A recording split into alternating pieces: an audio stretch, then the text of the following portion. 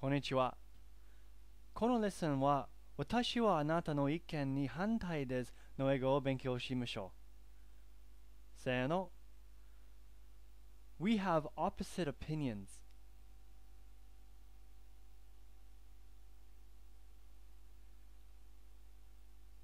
We have opposite opinions.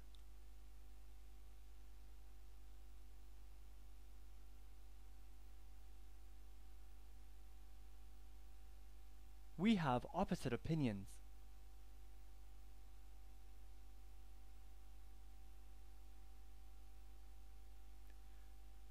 We have opposite opinions. ありがとう。私のサイトは聞いてください。